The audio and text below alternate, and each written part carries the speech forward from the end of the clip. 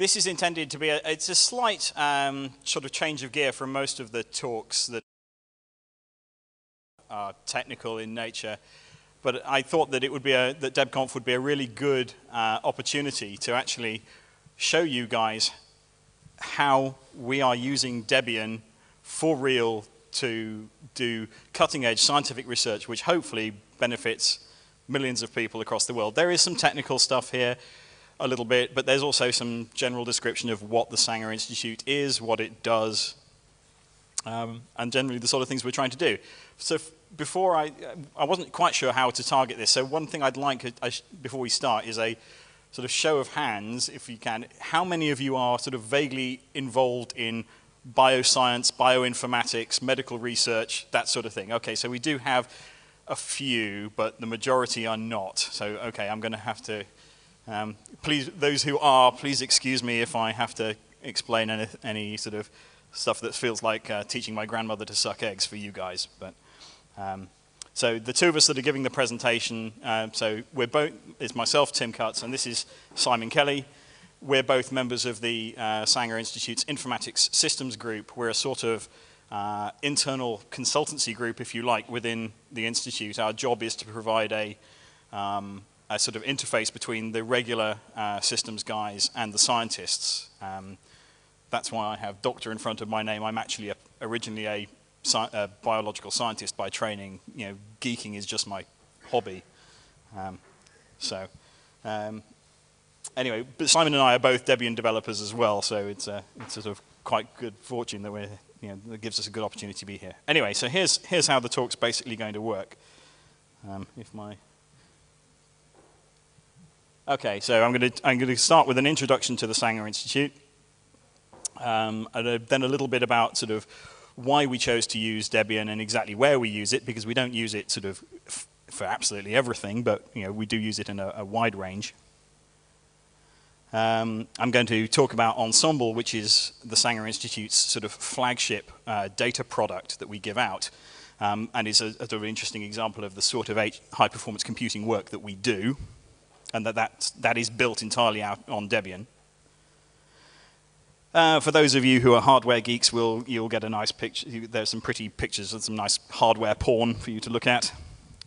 Um, and then Simon will talk about uh, the Lustre open source cluster file system that we use. In fact, I'm, I'm, going to steal his thunder here a bit, but we don't actually use the open source version of Lustre. We use HP's um, commercially supported version of Lustre, but it is still a, an open source product underneath. Um, and it's, a, it's an interesting little story of how we've sort of shoehorned that to make it work with Debian. Uh, and then I'm going to talk a bit about, you know, we're, we're running several hundred um, nodes um, on, on Debian, and so I'm going to talk a bit about sort of how we install, how we install this stuff and, and how we configure and manage it. So, about the Wellcome Trust Sanger Institute, which from now on we'll probably refer to mostly as WTSI because it's easier to say. So, it's funded by the Wellcome Trust, a big charitable organization. And its original purpose was to uh, participate in the public version of the Human Genome Project. Um, it's now um, diversifying into sequencing a large number of other um, genomes of disease organisms and other um, mammals and other vertebrates. I think we do about, Ensembl now is about 25 genomes, something like that, um, that scientists can download and compare and so on. And a large part of this is once you've got, a, once you've got a, an animal's DNA sequence, uh, is what we call annotating it, so actually sort of marking on it what it actually does. Um, there's a bunch of disease research projects going on, particularly into, into diseases which affect large portions of the population, especially in uh, the developing world. So we've got uh, research projects on um, plague, malaria, and, and diseases of that nature. And the thing that should appeal to everybody who's involved in Debian, because it's a similar sort of philosophy, is that everything we do is given away for free um, for people to do what they like with it. So this is where we work, uh, the Wellcome Trust Genome Campus. And part of the reason why I'm showing you what a nice and green and beautiful place it is, is that we're recruiting. So if, if, if you like the look of the stuff that we described today, you can come and talk to us afterwards because uh, we need a couple more sysadmins. So. so there's the Sulston building, which contains uh, labs and offices and all that sort of stuff. The West Pavilion, that little room at the end there, which is where all of the um, DNA sequences live for the production sequencing operation, which, uh, which goes on 24 hours a day, seven days a week. So this isn't just an academic research institute. There's a certain degree of, um, of almost industrial scale work going on here.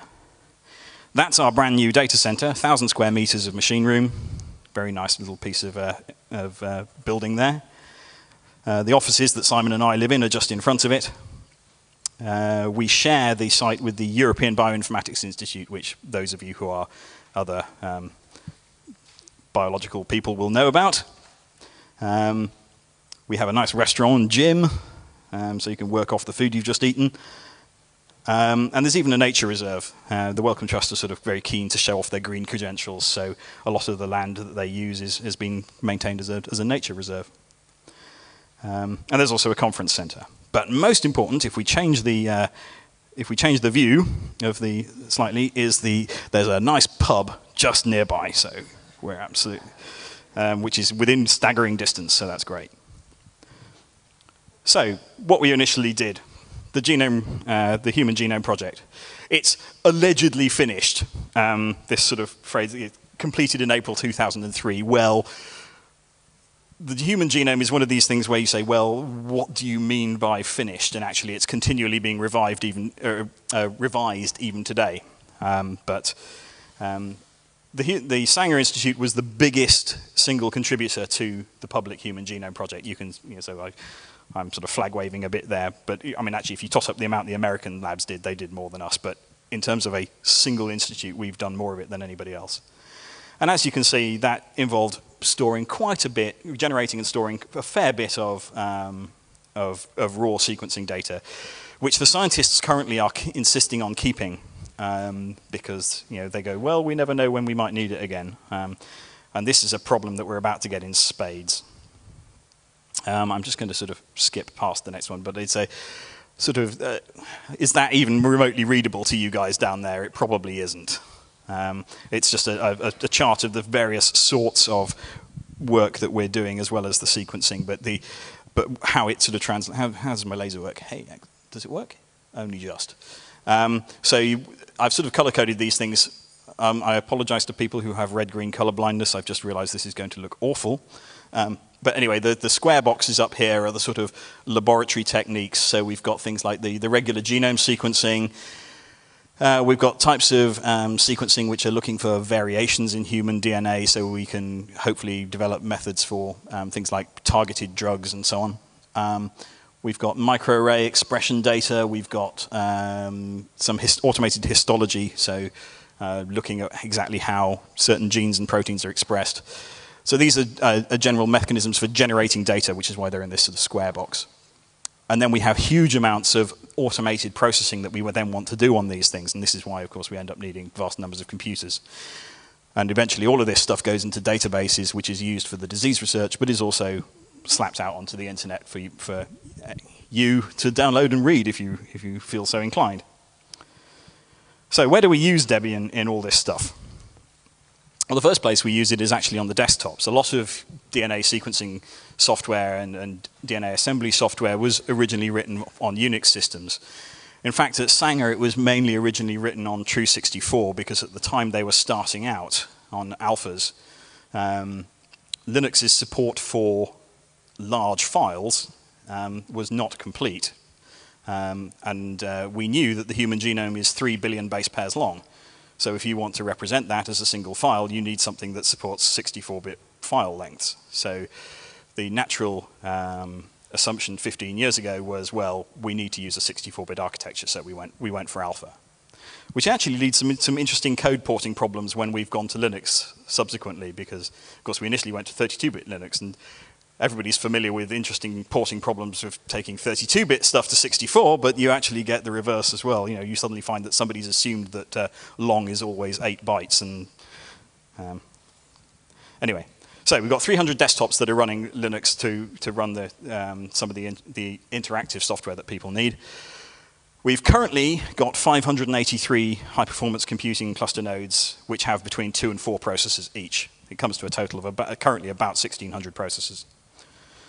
Um, the website that Sanger produces uh, obviously gets an awful lot of uh, attention from the world in general, so we've actually got over 100 machines that, that, uh, that operate the website in one way, shape, or form. Um, from the point of view of sort of industrial scale stuff, our, our, our, production DNA sequencing has, in the last six months, been moved onto Debian. It was on Tru64, um, but it's now you know, entirely run on Debian systems, which is quite nice. Um, and we've also got sort of dozens of, of, odd little servers here and there which are doing you know, just random bits of rubbish that people want to do, like MySQL and anything.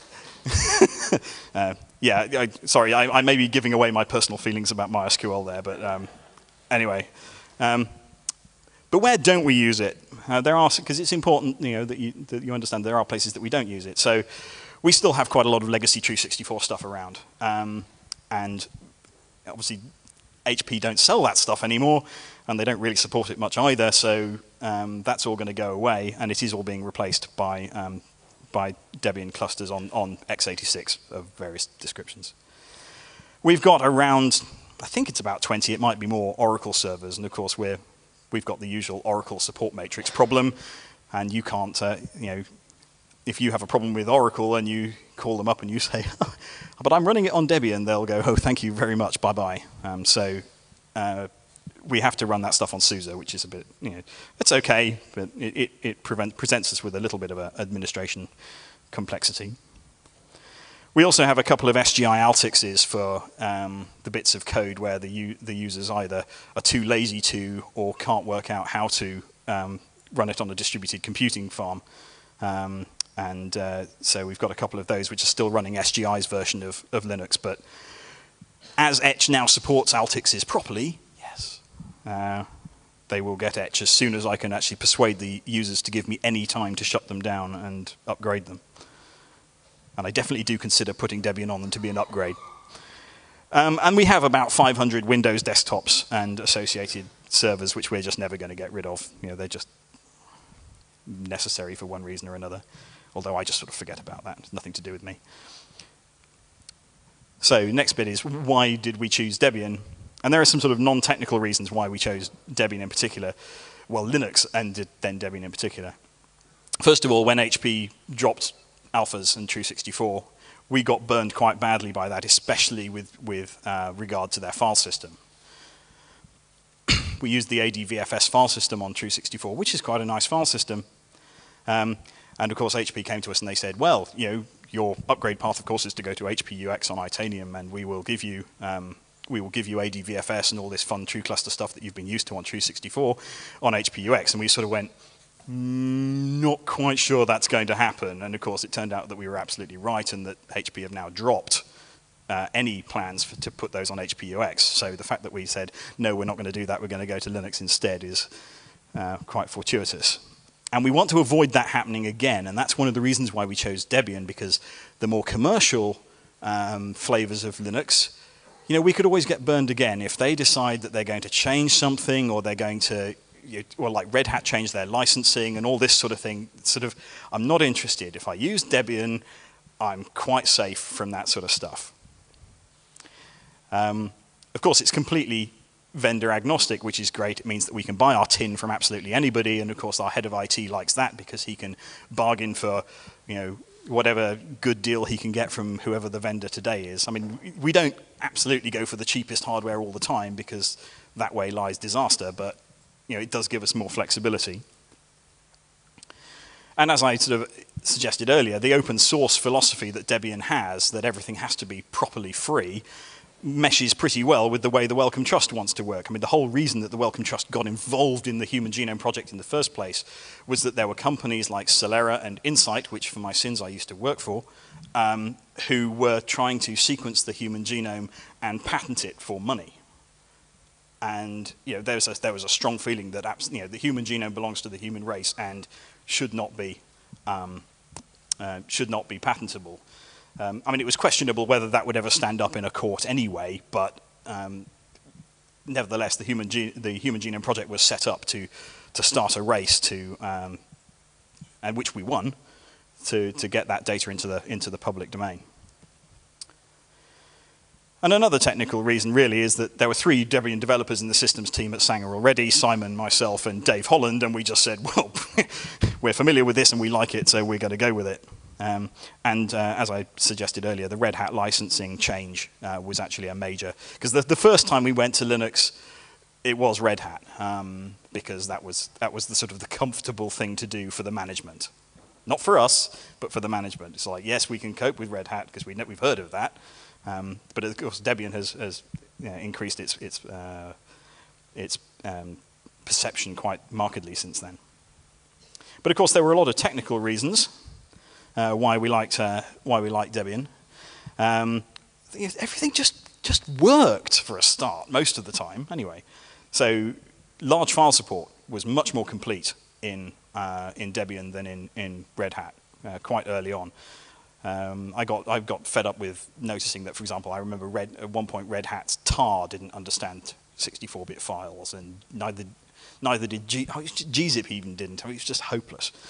Um, and the other, uh, one of our major uh, wins, of course, is, is things like the, the upgrade path with Debian. You can incrementally upgrade it all the time. Whereas Red Hat, you want to go from Red Hat 3 to 4? That's a reinstall, isn't it? So and, one, and a major thing for the server side of things was this SAN multipath stuff. We got that working on Debian years before we managed to get it to work on, on any flavor of Red Hat.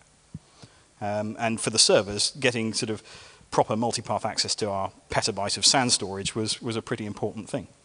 Um, and of course, Ian's uh, package, you know, the stuff that originally started with Ian's package management, but apt and all the rest of it is just so far ahead of any, anybody else's, in my opinion, that it, it's you know, it's a no-brainer. But another good one that uh, appealed to us was hom homogeneity across architectures. You know, we are using all of those four architectures um, in production within Sanger. Um, and we sort of noticed, I mean, I don't know whether it's still the case, but for a long time, Red Hat's alpha version and their, and their x86 version were, were not even remotely in sync. Um, whereas, you know, the whole ethos of the way Debian is built, we have a reasonable guarantee that you know, things are going to be the same on, on all of the architectures, so that's a major plus.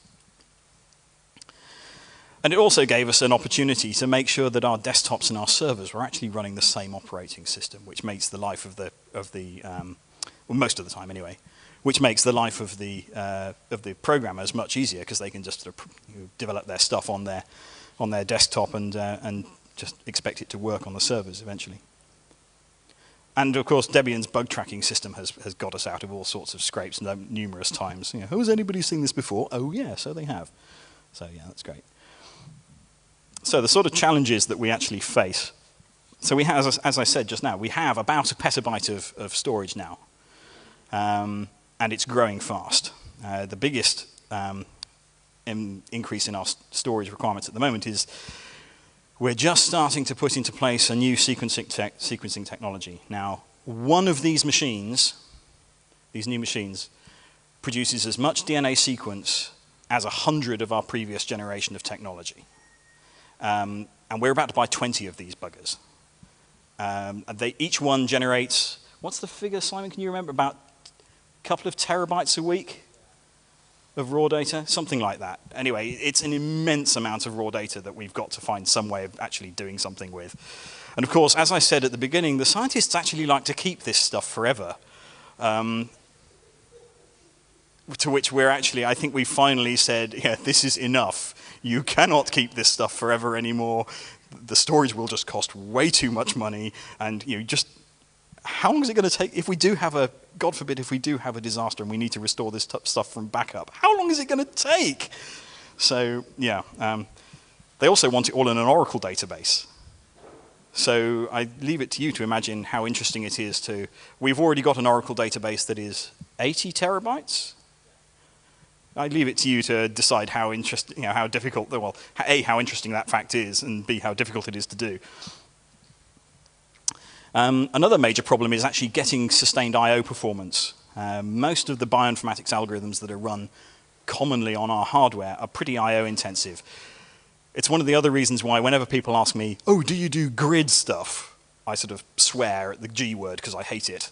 Um, and, I, and the reason we don't do it generally is that unlike something like SETI at home where your, your job is a fairly small packet of data and you then churn on it for hours and hours and hours, in bioinformatics and sort of genome research in particular, it tends to be a pretty big chunk of data and the job actually only lasts a few seconds. So the ratio is completely wrong for sort of sending data off over a wide area network to, to work out, to, to bring a result back. So we've got this problem that our high performance compute cluster has to be able to sustain very high amounts of aggregate I.O.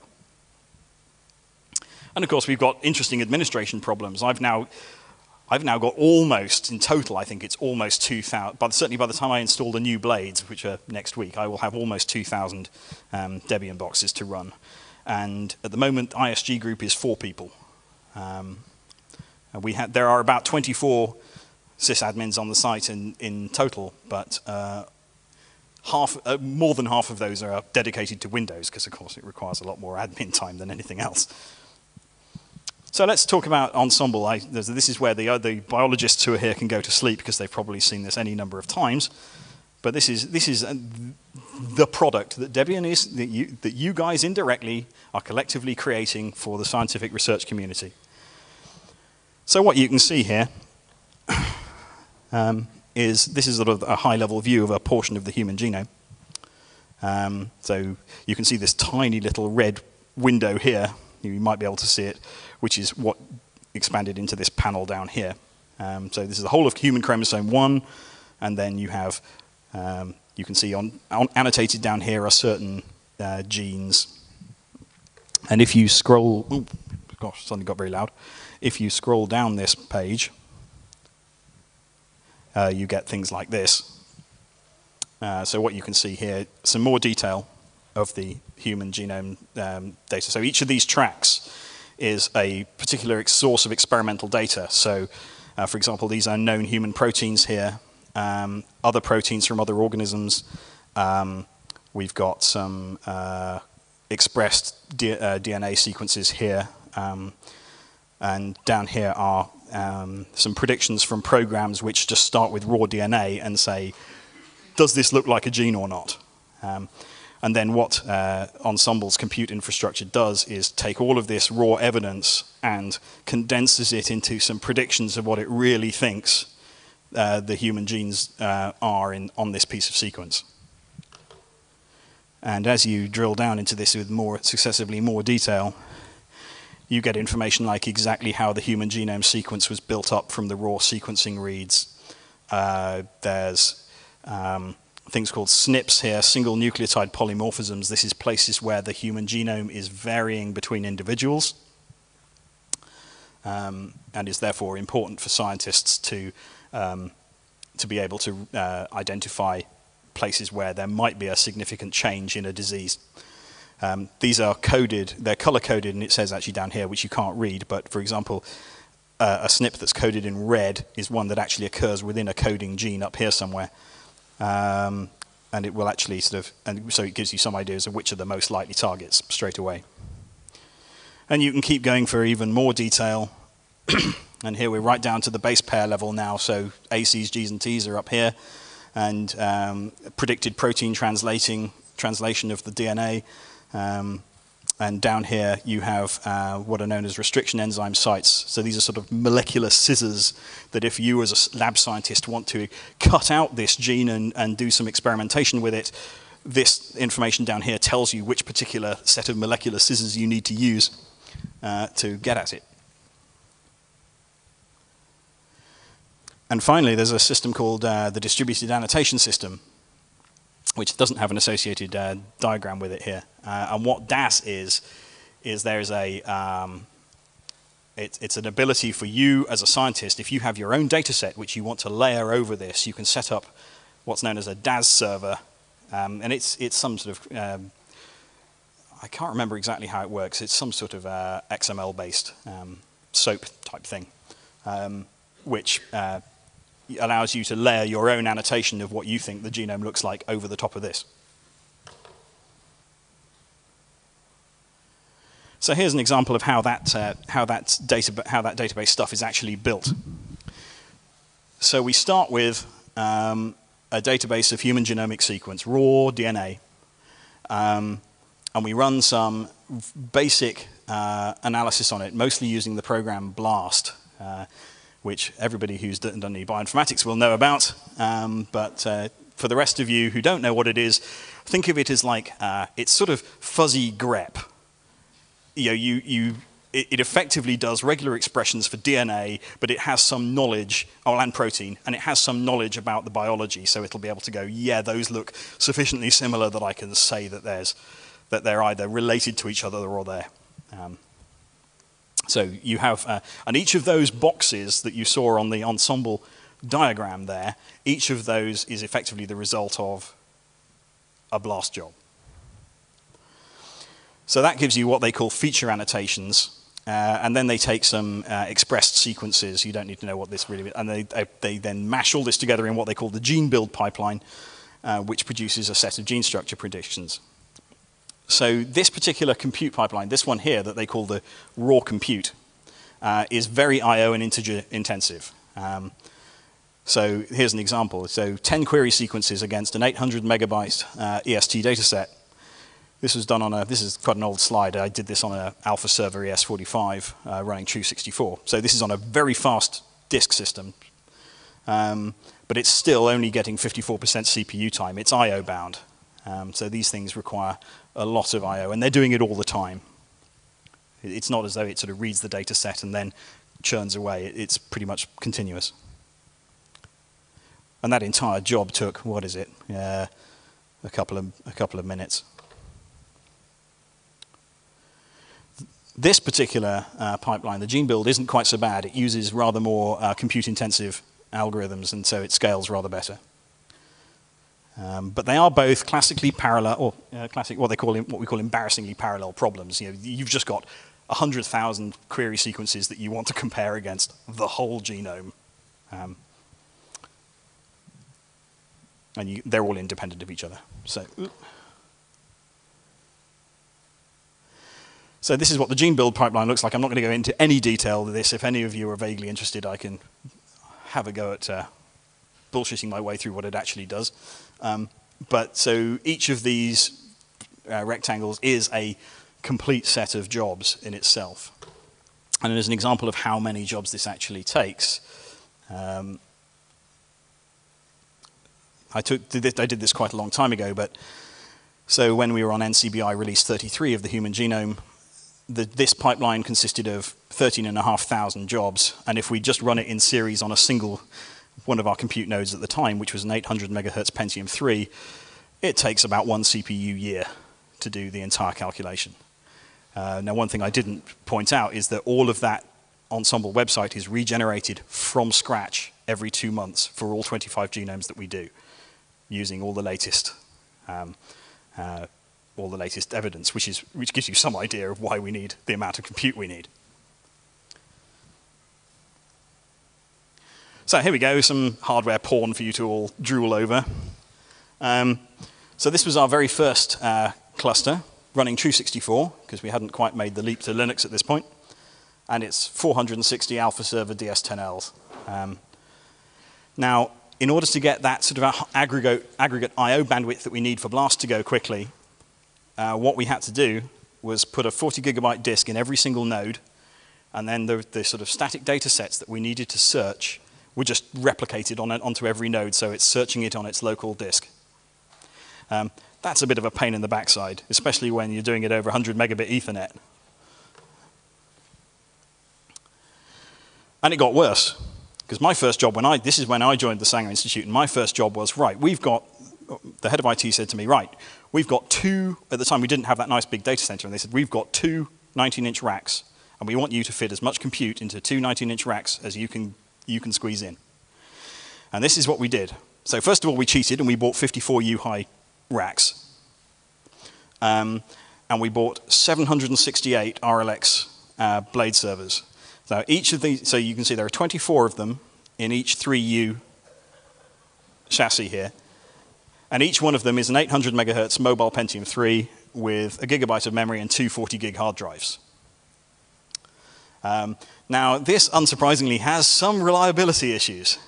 You know, there are one and a half thousand drives in that two, in that two sets of uh, two racks, um, which means that we have to copy this by this time sort of 70 gigabyte data set across all, and of course because it was a 70, 70 gigabyte data set, we're using a RAID 0 stripe as well. So that makes the reliability even worse.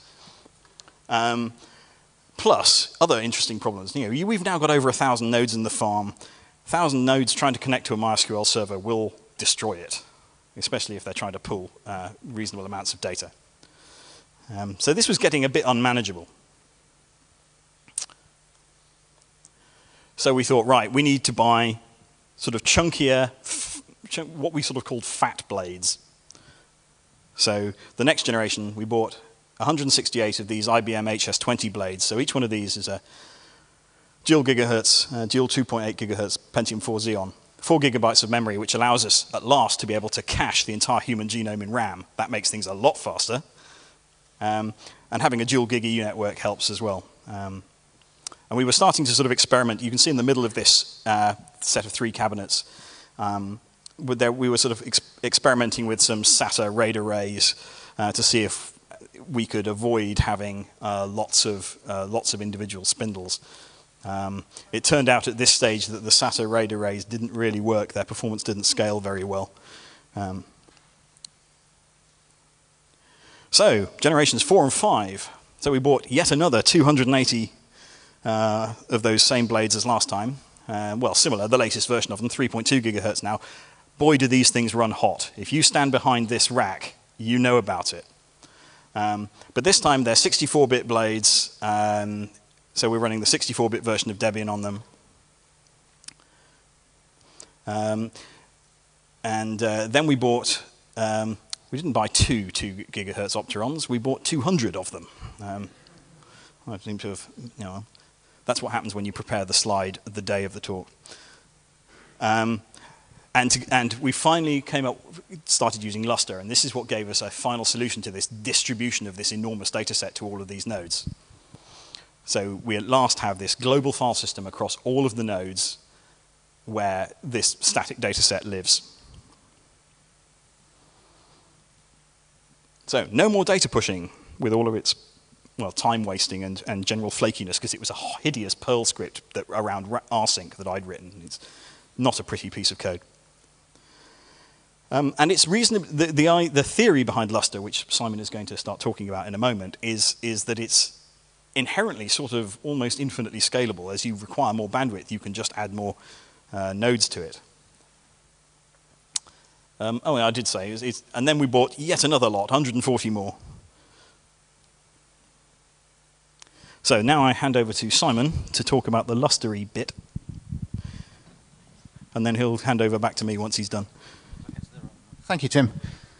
Yeah, so as, as, as Tim has, has very ably um, um, explained to you our problems with, with storage, and we, we wanted to get away from this problem where we had a big chunk of essentially static data that we were replicating a lot across uh, lots of, of machines in our, in our compute farm. And we also had a problem that, that um, we were using NFS to provide a, a, a, um, consistent view of storage for, uh, um, for, for working data and scratch space and, and, and writable storage, which was permanently on the edge of breakdown because an NFS server can't really cope with four or 500 clients all, all hitting it at the same time. So we, we looked around all of the, of the sort of cluster file systems which were available at the time, which was two, three years ago. And at that time, it was only just becoming possible to do this stuff, and there were various file systems that were available, some of, most of which were proprietary, and some of which were available as free software. Um, we eventually came across Lustre, which has the, the is it's, at the time it was it was um, it had the, it was using the Ghostscript model where old versions were GPL and the current version was proprietary. Um, it's now GPL for the current version, and it has the, the great advantage that um, as far as data access is concerned, it's parallelizable to the nth degree because the architecture is, is that the metadata for the files exists on one set of storage and one set of servers. Um, so that's directory entries and data about, uh, data about uh, block allocation and all of that stuff. But the actual data is, is smeared across as many what are called objects, object storage targets, uh, which are basically machines, um, network machines with disk behind them. And, and this, the, the storage for the files is smeared across as many of those machines as you want, more or less. And this works in two ways. You can either, you can either distribute whole files, as, you can either work in a in a method where, a whole, where files are distributed between these targets, so any individual file is only on one target. That tends to work best when you have large numbers of relatively small files. Um, if you have big files or, or, files which are being accessed from a lot of different places, especially for read-only at once, you can actually take a file and stripe it across all of the all of the object storage targets. So, so the first uh, megabyte of a file is on, on the first object storage target, and then the next me megabyte on the next. So the, the, the actual network bandwidth is multiplied by the number of storage targets that you have. Um, we, so so we, we decided that we would go with the, with the Lustre file system, and then we had a, another interesting question, which was, should we use the, um, the free software version of the Lustre file system, or should we take something called SFS, which is Hewlett-Packard's productized version of Lustre?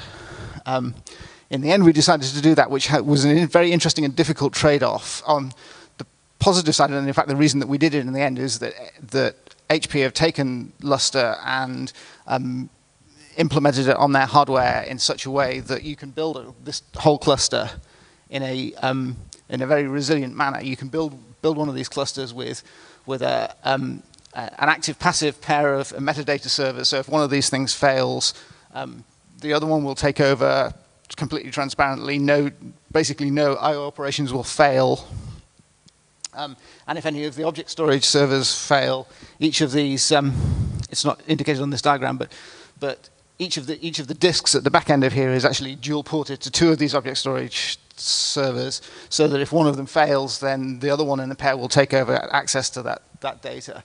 Um, and none of that was available in the GPL version of, of, of Lustre without an awful lot of implementation effort, which we frankly didn't have the resources to do, whereas HP took this stuff and put it on their hardware and you can buy the whole lot in a cluster. And if you ask, ask HP really nicely and pay them enough money, they will actually ship this thing into your data center in a rack, all configured and cabled up and everything for this stuff. So in the end, we decided that we would take the, the HP SFS proprietary version of Lustre rather than the, the, the free software version of, of, of the same thing, which gave us all of those big advantages, but unfortunately, we then wanted to run it on Debian, and HP were only providing support for SUSE and Red Hat. So, Okay.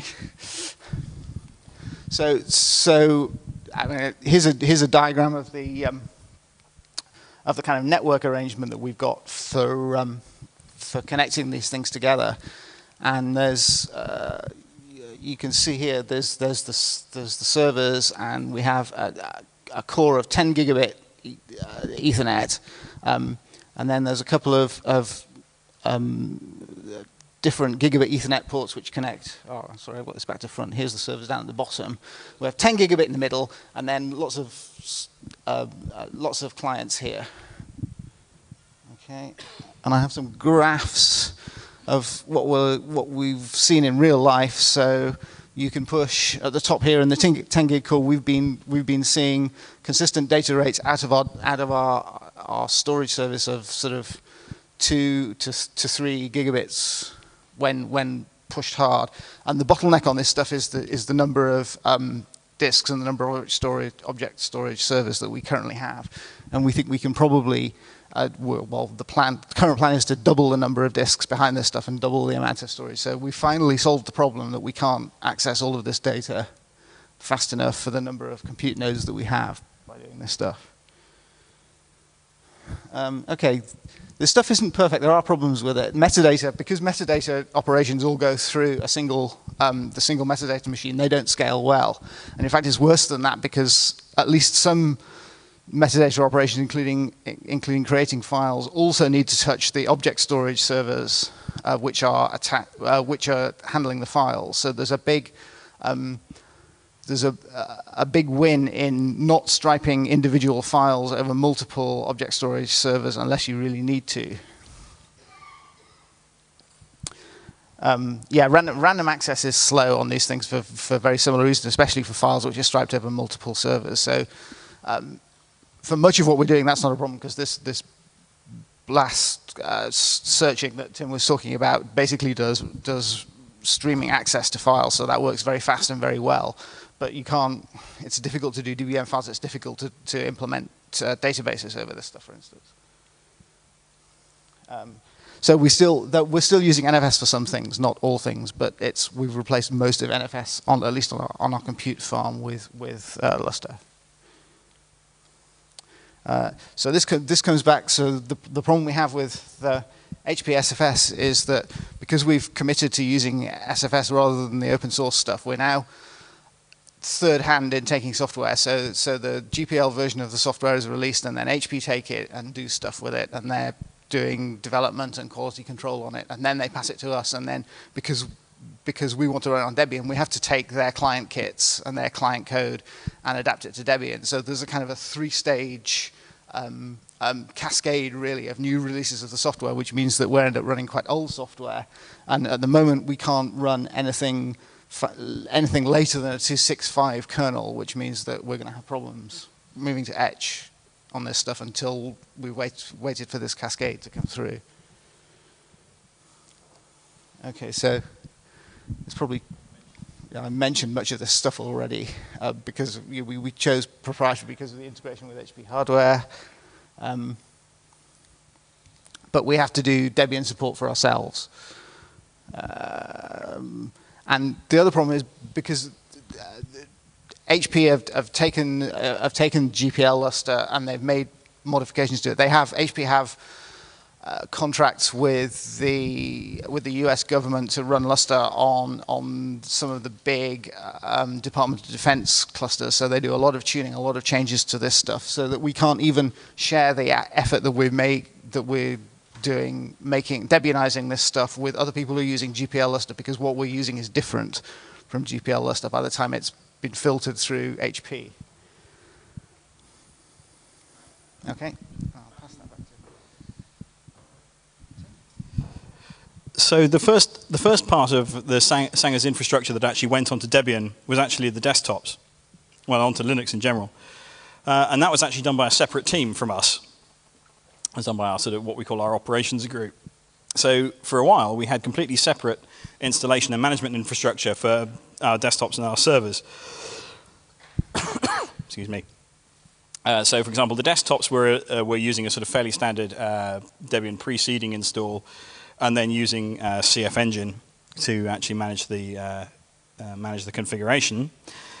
And we in ISG were using, well, initially we were using uh, vendor-specific tools. So when we had the RLX stuff, we were using their control tower uh, product, which was just a, it's just, it just basically, it, it runs a, it, it PXE boots the machine and um, unpack, for, formats the disk and unpacks a tarball on it. It's really basic. It's image sort of distribution. Um, but more recently, uh, especially with um, once, of course, we bought hard, uh, we had different vendors' hardware. We had to use something that didn't care about uh, which vendor we were using, so that's why we started using uh, FAI. But we now unified it. Um, this is what I'm sort of been spending most of the last couple of uh, months on. so we now use FAI to install everything, desktops and servers. Five minutes, sure. Well, this is pretty much the end. Um, uh, but uh, and we also now use CF Engine to configure everything SUSE well, not Tru64, but every Linux flavor is configured with CF Engine. Um, and we also have a local uh, APC repository for certain customized packages that we want to do. So what have we done with FAI? Well, we've we've now got a uh, FAI 3, whatever the stable version of FAI is in Etch, it's 3.1.8, isn't it? Um, and we're installing both 64-bit uh, and 32-bit clients off the same off the same server, which is nice. Um, we had to do a few uh, interesting little tricks because of the way uh, our network guys insist that we deploy desktops so that a machine always has the same host name regardless of which bit of the network we plug it into. So Um, so we're using dynamic DNS, um, but the machine has to have a fixed host name. So I've been modifying FAI so that we actually store the name of the machine as the asset tag in the, in the, in the desktop's BIOS, and then we grab that during the FAI install and use that to define the name, but we stick with the DHCP configured uh, IP address. So that works quite nicely. Um, but one of the reasons that we chose FAI and we like it so much is because it's so easy to just get in there and do stuff with it. Um, and especially if, if you're trying a new piece of hardware you've never done before and it all falls over, you can just get in there with SSH and prod about and find out why it's gone wrong. So that's one of the reasons why we've gone to FAI. Um, our sort of principle is that we, we actually, although FAI has some very strong stuff for actually configuring the machine, we don't actually use that generally. We, the way we're using FAI is to basically get the machine to its bare minimum usable state. So you know, its network is working, its host name is configured, and then we hand the whole lot of the rest of it, including installation of most packages, to CF Engine, so that later on um, we don't use FAI's soft update method for, for updating things afterwards. All package management subsequently is done with CF Engine. Um, typical compute in, install time with FAI, just I, I, like showing this to Windows uh, administrators because they just can't believe this. You know, that it takes less than five minutes to install a server, and they, they just. um, the, the desktops take 30 minutes, and I, I reckon that's in, almost entirely GNOME's fault, but there we go. Um, so we use and uh, we use CF Engine, as I said, for configuration management across the across the board. I'm starting to have itchy feet about CF Engine. I'm not wild about. I'm quite interested in. I'd be interested in talking to anybody who's tried Puppet as a replacement for CF Engine. Oh, there's some shaking of heads. okay, it just looked interesting. Okay, um, and as I say, we don't use uh, when we do do package management with um, with CF Engine. Perversely, even though I said we don't use FAI to do the package management, I actually stole FAI's idea for doing the package management. Um, so you know, so we've just got a list of package names that we can just throw at Aptitude and say, there, go and do it. Um, plus, uh, our FAI server and our CF Engine server are on the same piece of hardware, um, which makes an enormous difference in having the whole lot of our configuration information. It's all in one place. It's all under the same CVS control. Yep. And local repository going as quickly as I can now because my time is up. Uh, so we've got a, we're using an apt repository that's made with DebArchiver, which allows us to sort of shove all sorts of nice things in it. So the sort of things we're doing are custom kernels, Lustre client kit packages. Um, I had to patch CF Engine 2 a bit, so my own patched version of that. Um, and some clustering software, special versions of Heartbeat, a cluster-aware version of cron, things like that. Uh, what are we doing in the future? Going as quickly as possible. So we're about to move the desktop to Etch. Uh, server migration is slower, as you've been told. It's because uh, Lustre support for Etch is going to be a problem. Um, we're going to replace all the remaining Tru64 stuff with Debian and have a look at um, parallel NFS version 4. I'd be very interested in talking to anybody who's tried that. Um, and a sort of, oops, that was my, my Debian wish list, which you now can't see, which I've actually, I don't really need to show you because I've already talked to Ian about this. We'd really like a sort of version of dpkg that we could use for um, talking for, for allowing programmers to install their own packages without needing root access, but still hopefully being able to depend on certain things uh, that are installed on the system itself. So, anyway, hi, I've raced, raced through the end, but I finished. So, has anybody got any questions,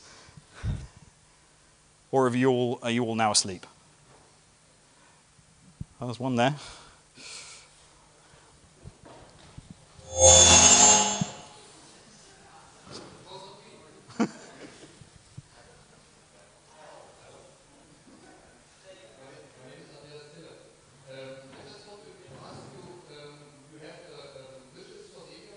uh, Can't patch dpkg, but I'm running this Debian Med stuff. Can we do anything for you? What are you missing? In, in perhaps can you use this stuff of Debian Med? Uh, sorry, what's it called? Debian Med is a medical distribution for which also cares for biologists. okay, so I'm, I'm, the packages I'm talking about here are not actually the standard things like BLAST and uh, HMMER and ClustalW and all this. It, it's locally written software but the but some you know there there are there are about a hundred or so programmers working on the mm. on the development of the of the genome processing stuff, and they've got their own bits of software that are all have all sorts of complex inter- interdependencies, and we really want a dpkg like dependency tracking so that if they upgrade something, they know that well we can't do that until that's been upgraded as well. That's what that's what they're after. Do you have anything like that? Yeah, but uh, the problem is, uh, can we do anything? b- this at Mindia, this is, or, or what, what you described here is a little bit uh, deeper than we can provide uh, regarding packaging. Is there any, because you said you use some software which is not in Debian, can we do some packaging which uh, would make your work easier or something like that? Um, I well, it's it's worth us talking about it offline. I think. Okay, yeah, Um, I think we do it uh, later on. anybody? So I'm Luca Capello, a biologist by profession. Uh, just curiosity, what's the situation with the other genome uh, sequencing centers? They use Debian, they use whatever else? Um, well, most of them used to use Tru64, like we did. Um, I don't know what they're switching to now. Actually, well, Celera went to uh, IBM and Power on AIX. We're being told zero again. Um, so, uh, but I don't actually know what they do. I mean, we have protocols for exchanging the data, but of course, from, from that, I can't, because that big 80 terabyte Oracle interface has all of their data as well as ours. Um, but I don't know how they generate it. Anybody else, or do I have to go? No. Anyway, well, if anybody does have any questions, just come and talk to me afterwards. Or.